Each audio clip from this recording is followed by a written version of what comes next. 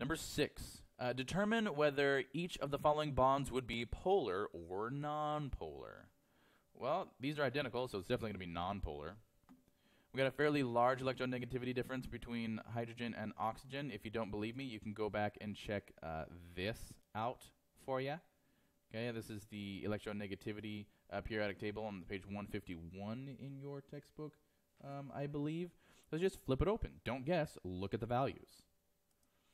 So that's going to be a pretty large, a pretty large electronegativity difference. So it's going to be polar. Uh, there's going to be a very large electronegativity difference between fluorine and hydrogen, since fluorine is the number one most electronegative um, element on the periodic table right here.